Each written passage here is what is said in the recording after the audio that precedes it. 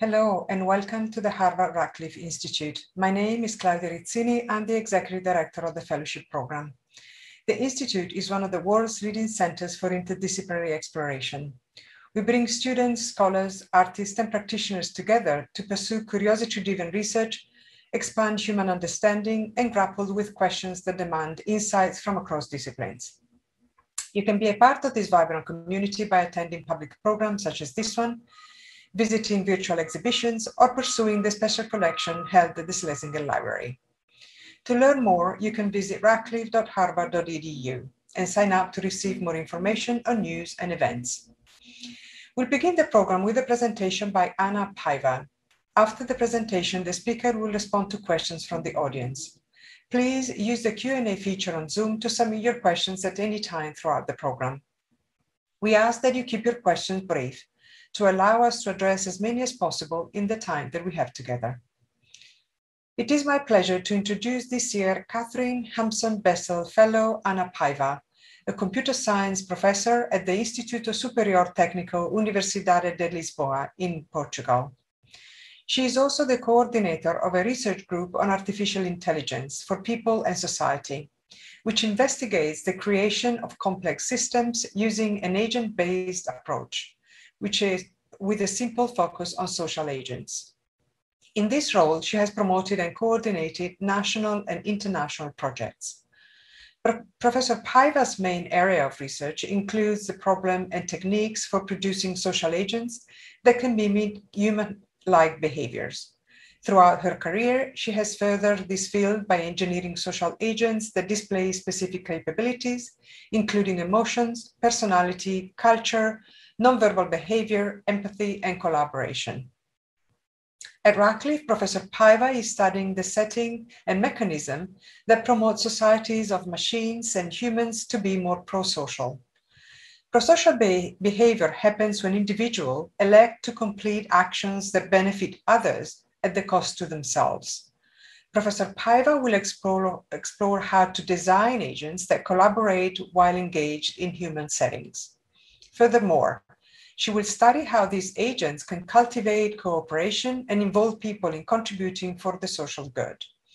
Her project dares to imagine a future where intelligent machines will be able to act for the good of society and encourage pro-social behavior. Professor Paiva has written extensively on AI, publishing over 250 papers and has earned multiple Best Paper awards. Most notably, she won first place at the 280, uh, sorry, 2018 AAAI Conference on Artificial Intelligence Blue Sky Ideas Conference track.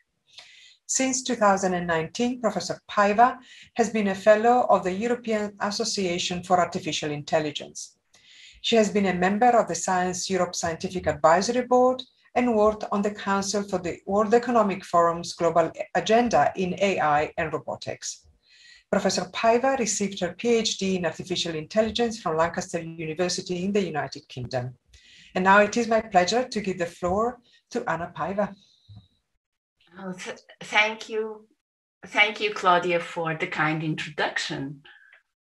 So uh, I want to start by thanking the Radcliffe Institute for this opportunity to be part of a vibrant community of fellows that not only inspired me during these past eight months, but fundamentally changed the way I look at my own research.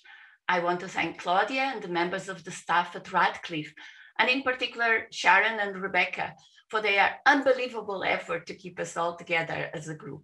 It has been just wonderful. I want to thank Katherine at Hampson Bessell and my sponsors for supporting this incredible journey. I want to thank my associate partners, Isabel and Esther, for their hard work. And finally, I want to thank all my collaborators, in particular, Fernando Santos, Filipa Correia, Francisco Santos, Francisco Mel, and Paula Ferreira. They are the reason why I'm here, I can be here. So my talk today is a vision for a future where humans and machines collaborate to form this pro-social society. I've been working on this vision for the past couple of years, and during the past few months here at Radcliffe, I've been consolidating it, writing about it, and even challenging it. But let's go back to a year ago when the COVID pandemic turned our world upside down. At the time, with many of us in lockdown, many people engaged in support activities. All over the world, there were signs of solidarity towards the neighbors, and little acts of compassion were propagated. We watched neighbors in Italy singing opera to each other, shops distributing free food, such as the Creamery in Wisconsin, uh, providing free milk to everyone. In the UK alone, there were more than 4,000 help groups formed on Facebook and WhatsApp, just offering help and food, especially to the elderly. In Portugal, one site, SOS Vizinho, was created just in 48 hours to organize support for people suffering. So kindness was celebrated. Now, yet, in spite of the strong evidence that humans are altruistic, we're also confronted with antisocial behavior, hate speech, polarization, and aggression. And all of us, whether passively by ignoring unfair actions or through our own selfish acts, we are perhaps contributing to a worse society. Studies like the one I, I mentioned here report suggest that empathy is decreasing. And a large meta-analysis conducted in 2011 that captured a period of 30 years indicated a decrease of empathy during that period. Now, there's one question that we should ask and that is are machines contributing to this decline and making us humans less humane? What role does technology and artificial intelligence, AI in short, play in this de decline? It is undeniable that the rise of these technological giants has promoted a society that is less equal and more divided, and increasing interaction via machines and reliance on algorithms for decision making may also lead to a decrease in our sense of responsibility towards others. Yet, I don't think we can stop this technological revolution.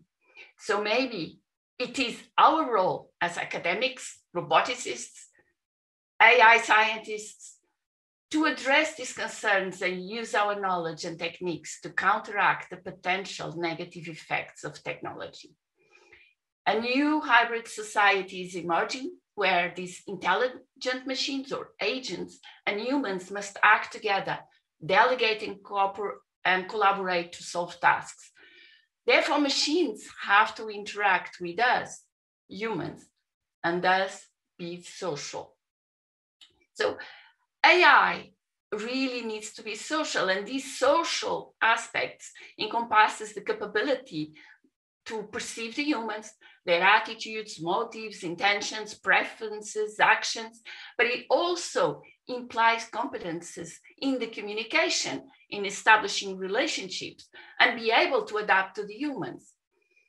But to really have social intelligence, AI should also have the capability to take actions towards the social environment, follow norms, and adopt morally appropriate actions.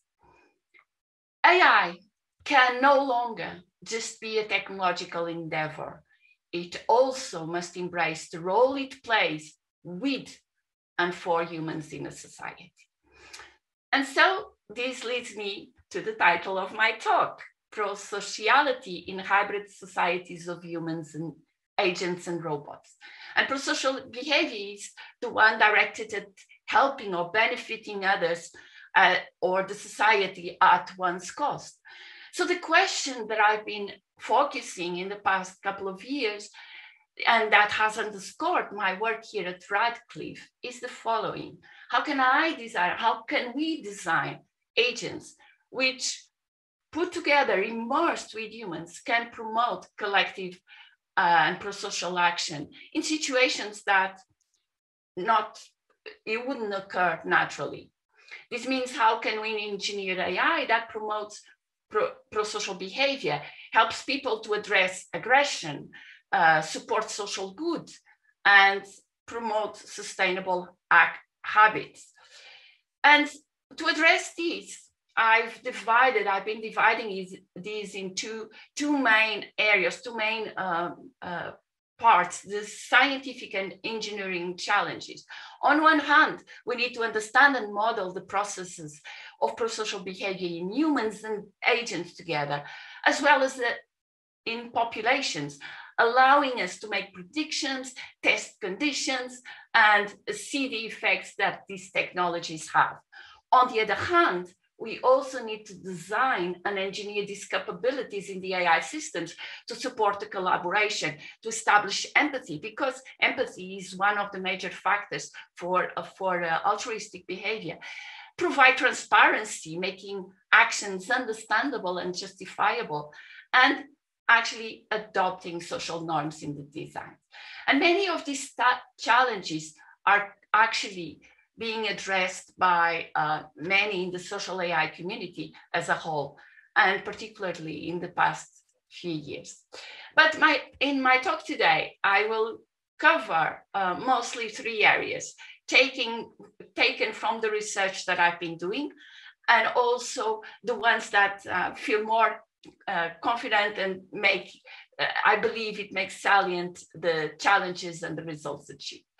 And I will start with the first area that uh, it, the majority of my work is based, which is pro-social robotics.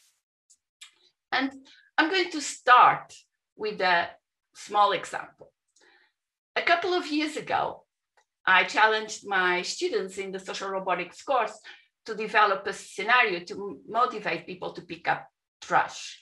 Uh, you know, on the beach in, in Lisbon, sometimes uh, there's a lot of trash being left. So we built a simple rubbish bin, teleoperated, and to test it, we spread uh, litter on the main hall of the campus at the university at seven in the morning with authorizations. And we had two conditions. One where the robot was there, static, a typical trash bin. And the second one, the robot would go and nudge people into action. And this is what happened when we tested it at the university. I'm going to share my video.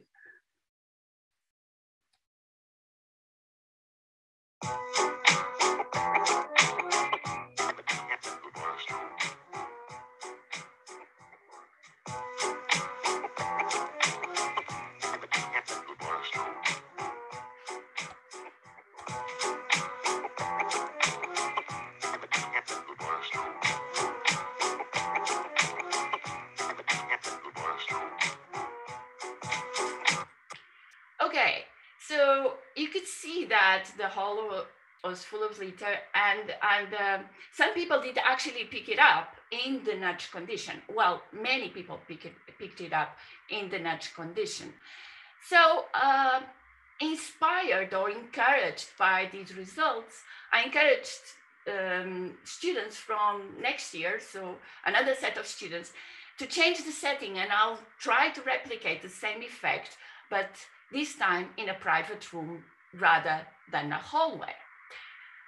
People would come into the lab, perform a small little task uh, on the iPad, sat on the sofa that you can see, and then the robot, the trash bot that you can see on top of Pioneer, would move around, nudging participants to pick the trash that was spread around in the room. And what happened? Well, no one picked the trash. Now, we can question why what are the conditions that makes such nudge not work in this last situation, but worked in the first one? We can speculate that in the public space, people were willing to contribute to the social good.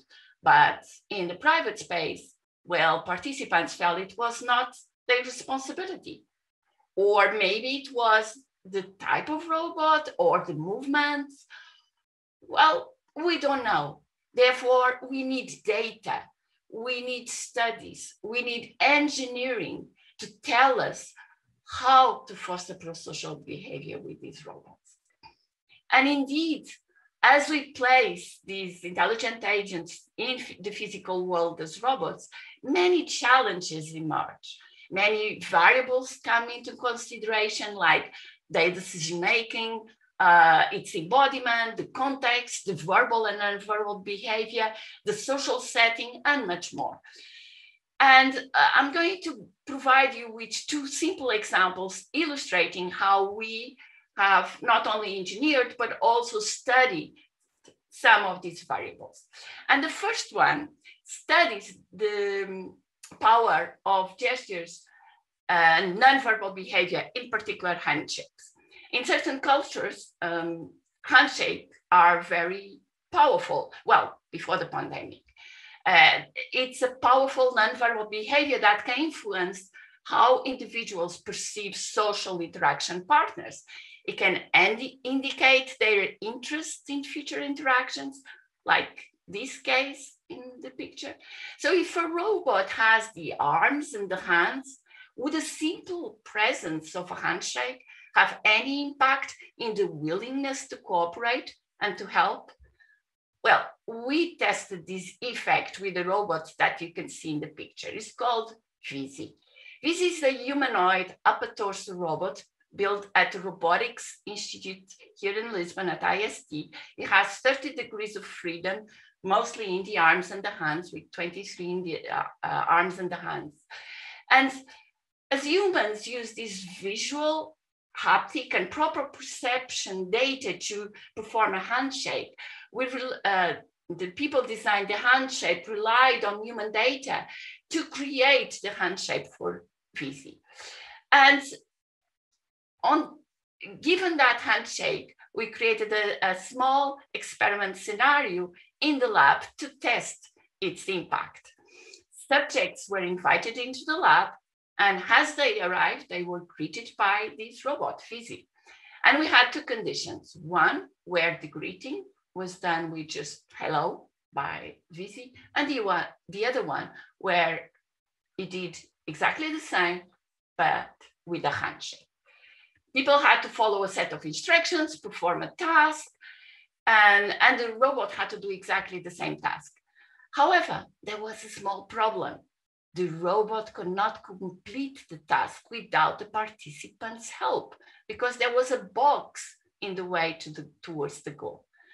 In the video that I'll show you, you'll see one of the participants executing the task and helping the robot.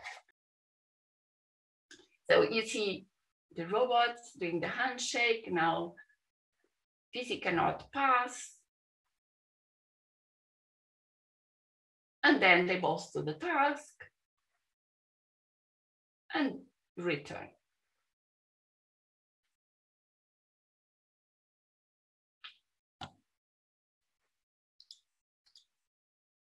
Now, the question is, would you help a robot in need?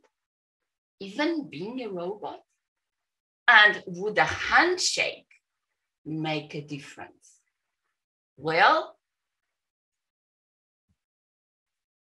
it did. The results show that indeed the handshake made a difference. Not only people considered the robot more likable and warm when it greeted them with this handshake, but they were also willing to help the robot in the future.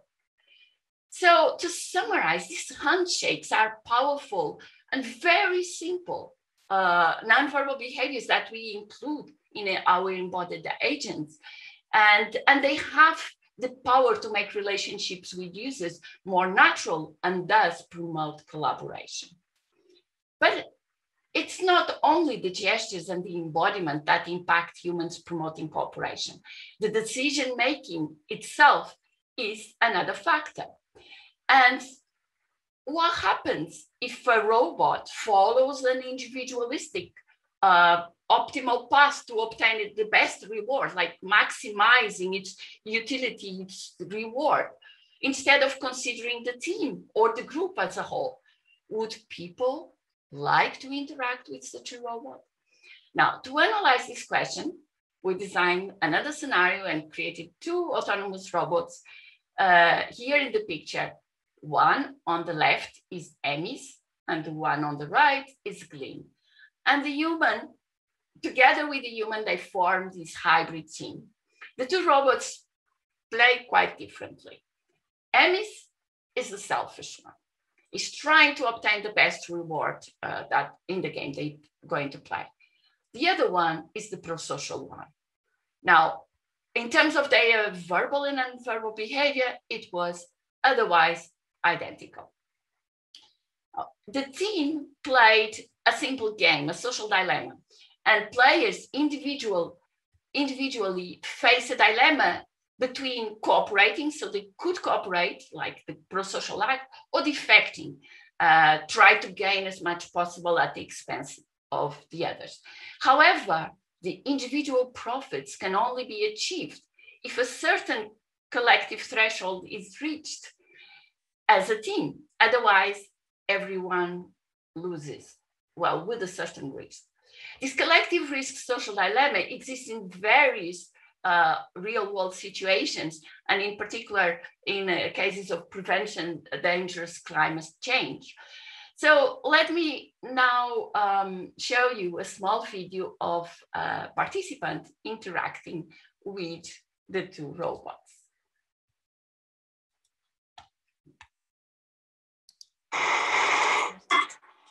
Suado foi um fracasso. Ah, não acredito! É possível.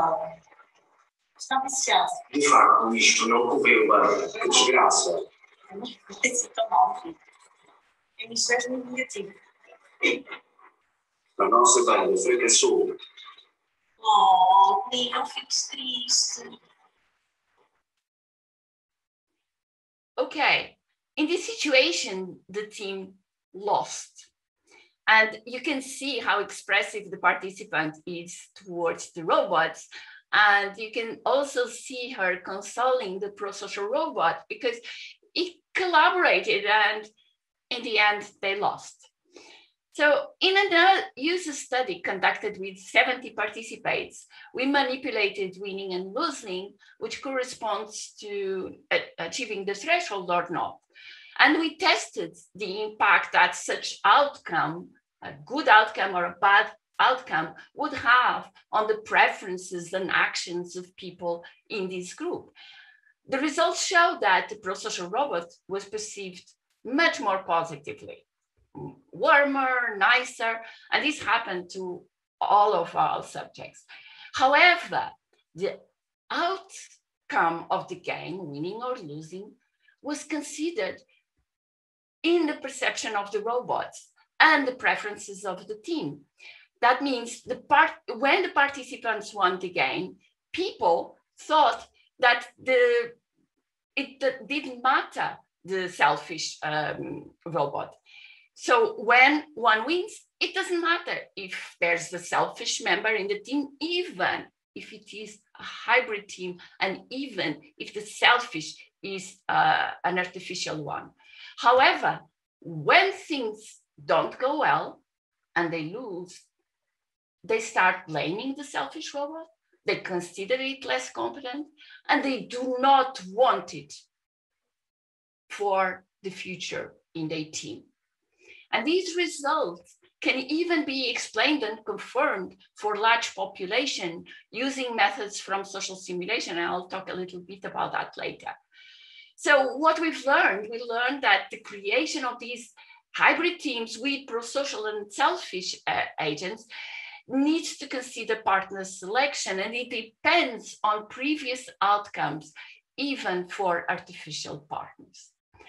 But social agents can also be um, embodied in different ways, such as character in games, chatbots. So I'm going now to proceed to a second area that uh, we've been working and I feel uh, very strong about, and is pro-social games. And I'll start with the bystander effect or bystander dilemma polarizations and cyberbullying is ramping up like never before. And social media is considered as actually promoting and intensifying these types of behavior. And one of the problems with cyberbullying is that people ignore bullying acts. They dismiss them. We dismiss them. A theoretical framework that explains these situations is known as the bystander dilemma, and it was originally developed by Latané and Darley in 68, and is well established with strong empirical evidence in social psychology. And the dilemma captures the following. If someone faces a situation where another person is in distress, if there's also other presence uh, available to respond, then one is less likely to respond or be slower at doing so. However, if that person, if when we watch, we know if there's, we know to be the only one watching the distressing event, then we're most likely to act. And this theoretical framework has been empirical, observed in a wide variety of situations, not only in cyberbullying, but also in cases of domestic violence, for example. So the question to consider is, how can we build agents that counteract this bystander effect and instead make the pro-social actions more visible, salient to be chosen, even when there are many others in the scene, like in social networks. Prosocial behavior can be a determining factor in reducing aggression in social networks and building social support. So with that in mind, I'll describe this prosocial game that relies on psychological theories of prosocial behavior to address the problem of cyberbullying to foster uh, that type of uh, behavior, prosocial behavior. Uh, and I, I, really think this is an imp uh, important area. So we took inspiration from real cases collected with the population of teenagers. And the game actually features um, a hybrid network of both humans, so three is a multiplayer game with 12 agents. And the actions uh, of the agents are guided by the data collected with real world cases. And its implementation was, um, we used the social cognitive model to capture aspects of in-group and out-group and implemented uh, parts of that model into the computational architecture for the agents. So in the picture, you can see a network of the humans, three, a player, two colleagues, and then all the other ones are agents that will act and interact amongst themselves. So the victims and the cyberbullies and the bystanders are amongst the agents. And their actions in the network actually serve as catalysts to nudge the players into these collaborative social, pro-social interventions. Now, a user study was conducted to assess the impact of the game with these agency, the groups, uh, groups of three, uh, three uh, adolescents. And to test the impact, there were three conditions. The experimental condition uh, was the condition where uh, children played the game. And then we had another alternative intervention condition, usually adopted in schools, where stories are created following more or less the same stories that exist in the game. And finally, a control condition where uh, there was just regular classes being held. And the study ran in schools in Portugal with 211 adolescents involving three different schools and eight different classes. And uh, children, they were between 13, 14 and 115 played the game, so were exposed to the experimental uh, condition. Uh, the, the, study ran for nine weeks, including five weeks where they played the game uh, every week uh, with different episodes every week. So let me now briefly show you the results of this intervention. We took many measures, but apart from other measures, we collected two main associated with empathy and prosocial behavior. We measured cognitive empathy using uh, the perspective taking scale that gives us an indication how good one is to put yourself into the shoes of someone else. And another measure collected uh, was the uh, task assessing the prosocial assertive behavior. Now, the results that you can see with both of these measures show a clear increase from the pre-test to the post-test uh, in the experimental condition. In fact, you can see this increase, whereas the other two, there's no increase. So um, this increase actually shows that we can have a pro-social game that simulates these hybrid groups of humans and agents. And those agents and their actions, their transparency and so on, can nudge adolescents to be more pro-social. Now, to summarize, building virtual agents in games can be engineered to act in ways that make actions transparent, increase empathy, and improve pro-social assertive behavior.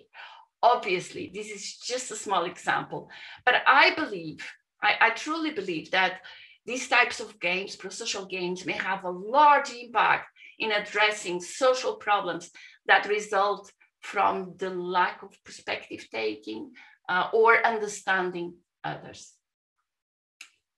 So finally, in the remaining time that I have left, I want to talk about scaling up and how we can study the effects of social agents. But now, uh, so we started with interactions, then we moved into groups, and now we're going to population at the population level.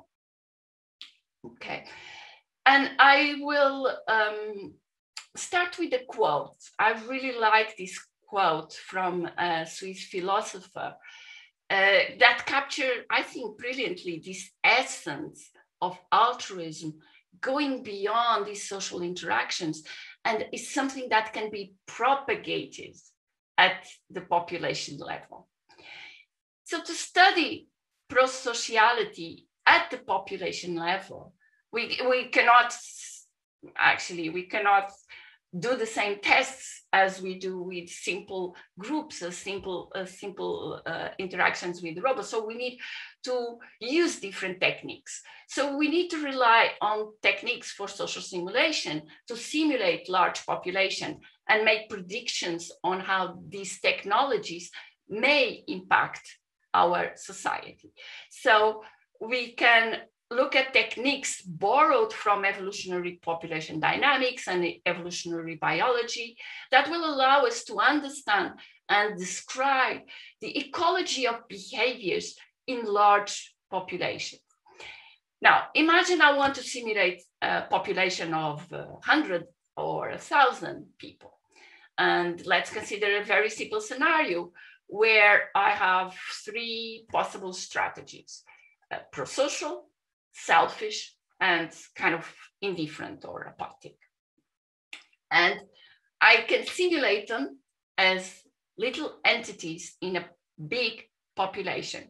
And by simulating the interactions and considering the evolution of the behaviors and the strategies over a period of time, and as these agents watch and copy each other's um, actions, we can observe how the population evolves. For example, in this case, let's say that the black circles represent selfish behaviors. We can observe the population and see how it evolved uh, in this case. And perhaps at the end, they would have act selfishly. Now, what we want to see is that we'll now imagine that I add to this population a set of predefined agents that act in a pro-social manner or make the, the actions of others transparent. Can we equally simulate? Yes, we can simulate its evolution and observe if the presence of such agents indeed leads to a more pro-social society. And perhaps even stir the, the, the group into pro-social behavior. So these models can be more or less complex as we attempt to balance this complexity uh, uh, of the parameters with the, the fact that we need to represent and capture a wide variety of scenarios and situations. But the models function as predictive tools providing us a glimpse into a potential future where these technologies will come into the society. So we've been investigating uh, these with different dilemmas, settings, and society configurations. In the picture uh, that I'm showing there, um, the results of the simulation done with, uh, with many runs with the populations with the same game, showing that by adding a small percentage of pro-social agents is enough to get a propagating behavior and stir the population towards a path that is more pro-social. And in fact, these results, I believe, give us hope that indeed this technology and what we're trying to do in many ways will impact and have a, a large uh, impact. And in fact, more recently, with my collaborator Francisco Santos and the Radcliffe research partners, we've been investigating if these pro-social agents can have an impact in scenarios where we have divided societies separated in different groups in order to avoid parochialism. And uh, I hope to have some results in very soon. So uh, finally, I oops, I want to finish by acknowledging there uh, there's really amazing work in the social agents community, which I wasn't able to talk to you um, today. However, I hope I was able to give you a small snapshot of the challenges that we face in this area. And so in this world where AI is seen ever more with, as a negative factor of our society, I hope that I was able to provide you uh, a, a way by which AI can contribute to a kinder society. And AI must go beyond being social. It needs to be pro-social. Thank you. And now I give the virtual floor to. Uh, thank you, Ana. Um, thank you so much. It was a terrific presentation, really fascinating. And as you can imagine, there are indeed questions. So in your last slide, you had a, a shanked uh, handshake. So if you don't mind, I'll go back to your experiments about handshake. And one of the question is, does the novelty of the handshakes wear off? Does the willingness to help the robot wear off over many encounters? Oh, yes. Oh yes, certainly it does. It does. In fact, we've tested that. We we've been um, looking at long-term interaction and seeing that certain behaviors, and especially uh, when it comes to interact with with robots, the, the the novelty effect is a big thing. So people are really keen on uh, on doing things with the robot or, or helping. But you see. Uh, in that case in particular, it was just the effect of the handshake. Now, of course, it could wear off over a long period of time, but just the first impression gives already some impact. And of course, there's techniques to start doing and, and adapting and, and uh, um, developing more um, uh, interaction that that allow for long-term uh, long-term sustainable interaction with the robots but it's yeah it wears off mm-hmm. it's it's it's a research question at the moment indeed right and, um, the next question is actually quite quite interesting so who decides which human behaviors are desirable when does the robot's nudging persuading become a projection of power from the robot's creator on the people in the situation? Yeah, that's a wonderful question. So who decides? Um, well, yeah, the designer.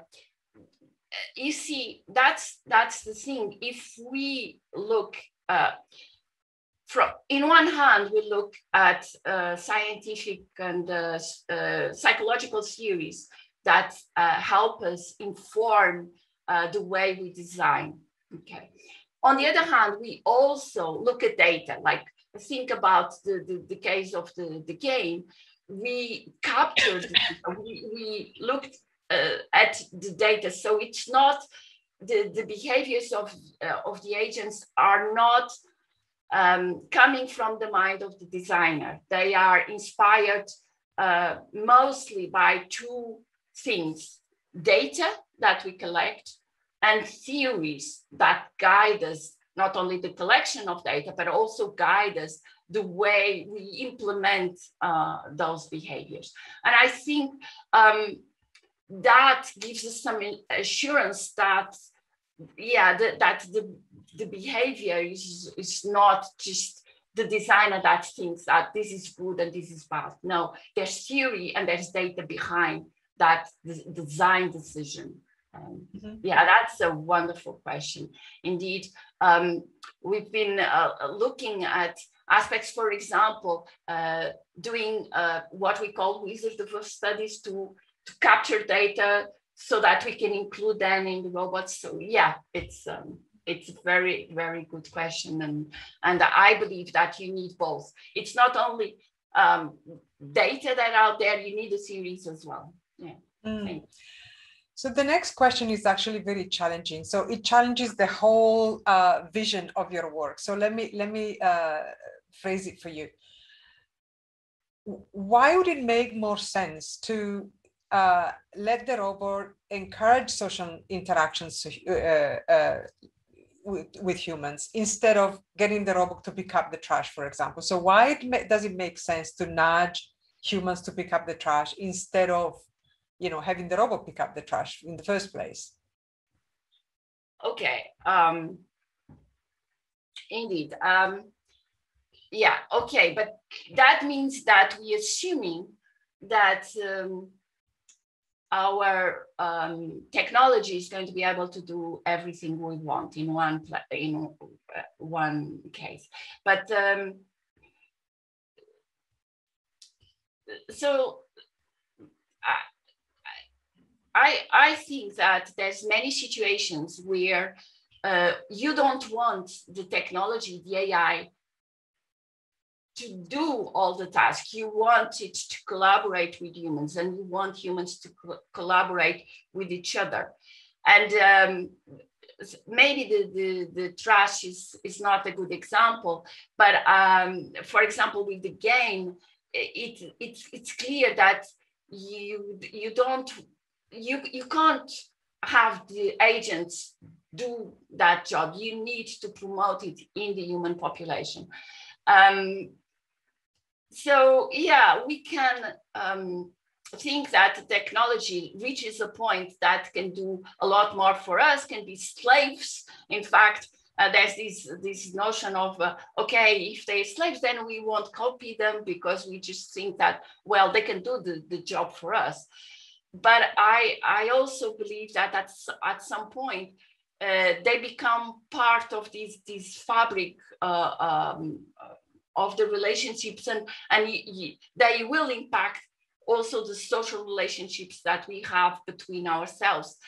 So I, yeah, now can you repeat the question because I so yes the question was would it be more would it be more effective to leave tasks that robot might be able to do more efficiently like picking up trash to robots and leave encouraging social interactions to humans. But i think you answered the question. Basically it depends on what you know the picking up the trash was a, an experimental example. yeah, yeah that's fine. Okay. So you mentioned the importance of robots portraying emotions. Yeah. How hard is it to engineer emotions in robots that humans fee, uh, find uh, uh, believable? Okay, um, that's a fantastic question, and it relates to a lot of the work that I've been doing for many, many years, for almost, I don't know, 10, 15 years. So I, I used to say that um, there's uh, many reasons why we want to have robots to express emotions but not only express, they can also have mechanisms underlying their decision making that will help them to make better decisions if they have some kind of uh, of uh, guide towards certain actions and that they can be internal emotions. But think about uh, emotions for robots. It's not the same as emotions for humans. Okay, I, we can get inspiration from the way humans uh, act, behave, interact, and then create that in the robots. The advantage of having robots or agents expressing emotions is that they um, become more natural, people collaborate more, and, and it becomes easier to interact. And in many situations, that is extremely important. Now, one thing is portraying, like I said, the other thing is decision making. Expressing emotions can have very positive effects. Perceiving emotions so that the system can adapt to the human's emotions is something that many people are working and is also important, although there's many um, uh, people contesting it. However, I think it's important to adapt to humans.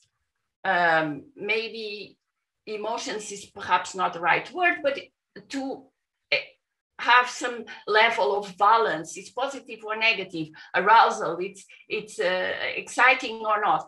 Having those variables to perceive in the system and to express through the eyes and so on, it's important for establishing natural interactions with these, with these robots and with these uh, agents and characters. Now, with the decision making, it's a little bit different because um, you can embed in the decision making, in the learning, some kind of um, heuristics that kind of resemble emotions. We cannot call them emotions, but it's something that may help the, the decision making but that I wouldn't call it emotions. Is is inspired by human emotions that can replicate in uh, in our uh, machines, in, in our robots and agents. That's great. Yes. Um, the next question um, it's uh, about applications of, of prosocial behavior robots. Do you think that your prosocial software efforts can have an effect on driving and drivers through the software used in those cars? Okay. Um, actually, there's very interesting uh, work um, that is being um, done uh, recently, and I think it's the team at Berkeley, where uh, where you put when you put um, a, a car, an autonomous car uh, driving, and then you have humans driving. What happens is by putting the autonomous car together with the humans, you can stir the flow more easily. So there may be um, aspects, even in cars and autonomous cars, that uh, are actually um, associated with this notion of prosocial behavior. But indeed, it's something that that needs to be sought. Uh, mm-hmm. yeah. Perfect. Um, and the next question is, do you think that big tech uh, would adopt this prosocial approach? Well, I think they should. I think what's happening with some of the big tech and the social media uh, they should study more the effects uh, that um, they have uh, on the population before um, releasing and before doing things, and therefore studying how to make, for example, in, in Facebook, how to make people be more pro-social support um, uh, engage people in in um, activities that uh, uh, support each other perhaps would be very useful actually yeah i hope i would love to to be honest uh, the next question is a technical question. So do you use anthropomorphic sensors to get more empathic user-to-user -user relations mediated by computers or robots?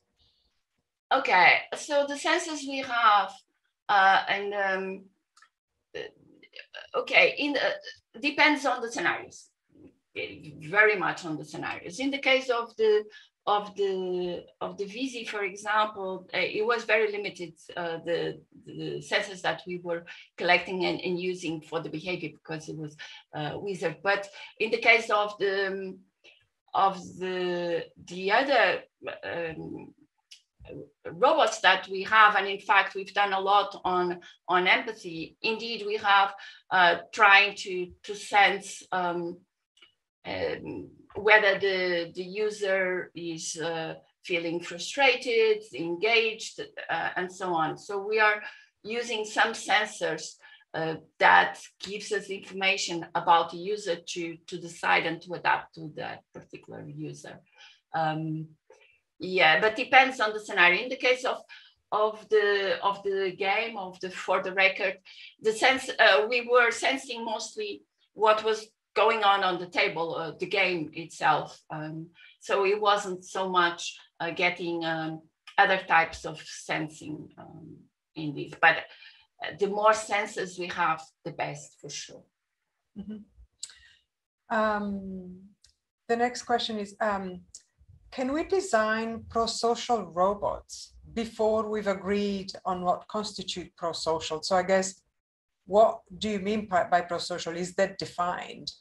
Oh yeah, I mean, you, you, the idea or the definition of pro-social is uh, uh, an, uh, is a behavior that um, that uh, is uh, benefits someone else other than um, and society at someone's cost. So I, I am uh, walking in the street and I see someone uh, dropping uh, something on the street. I go and help and uh, and give it. So I'm helping. Uh, it's that's the the definition of pro-social behavior. There's a lot of literature on these. For example, altruism is even more because it's this motivational state that that um, that it's a prosocial, it's prosocial, but it's even more because it's even um, the motivation is to increase the, the welfare of others. It's, it's nothing, there's no result on one uh, oneself.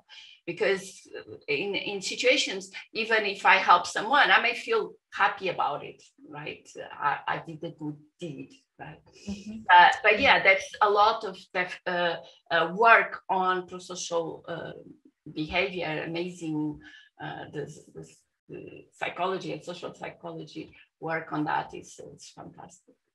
Mm-hmm. And the next question is, um, can you foresee any uh, negative effects in these pro-social agents? well, you see, the techno- when we build technology, um, we need to test and we need to see whether there are positive and negative effects and try to avoid all the negative effects. I believe that uh, it may uh, have situations where, uh, for example, there would be uh, some kind of uh, um, someone feeling uh, worse because interacted with a, with a with a nice robot but i i think the negative effects are much much much lower than than what we observe at the moment with technology that actually fosters the opposite to pro-social behavior so i believe that studying it to avoid is a way to avoid studying it, uh, testing, um, and to avoid any kind of negative effects. I cannot, I mean, of course, there's uh, people might consider that, well, uh, there may be uh, negative effects of, uh, of uh, one action, but I, it depends on the situation, actually. Mm-hmm. Okay. Uh, and the next question, is there any difference between robots, agents that are embodied and disembodied agents in promoting pro-social behavior? Okay, there is. and I, I, I've been, I've worked and uh, some of my students have worked on that. And, um, and indeed, um, the physicality of a robot makes a big difference people uh, give it more social presence, people give it more attention, people get more engaged. Even exactly the same scenario with more or less the same look and the robot and the virtual one, it makes a big difference. It also makes a difference when you have a dis- completely disembodied agent. And in fact, we studied recently uh, with the same scenario uh, the, for, for the record, the same scenario with robots and completely disembodied agents. And what we observed was that people were more willing to collaborate when it wasn't embodied. And that was something we weren't expecting. We need to study it more. There was a kind of a um, negative effect of the body. So it's something that needs to be studied. But yeah, it's different. And, uh, and it's one of the challenges and, uh, and the community both the robotics community, the social robotics community, and the social agents or um, virtual agents and the agents community are looking at these comparisons between the, the three types of agents. Yes, mm. it's um, there are differences. Very good. And uh, one last question, uh, which is even uh, the most radical of all, I think. Should an AI be prevented from influencing human behavior? Well, yeah, so uh, that question, it's um, it's a hard question because, uh, in fact, recently there was this um, um, this big document uh, from the EU um, putting the laws uh, about AI, and one of the things it says is that AI sh- should not uh, manipulate or or influence human behavior. Now the problem is technology, any technology we're using, is influencing human behavior. It is. We cannot escape. Even Zoom, what, what we do, the way it's placed on the screen, everything is influencing us. So saying that AI cannot influence human behavior is wrong because then we cannot use technology.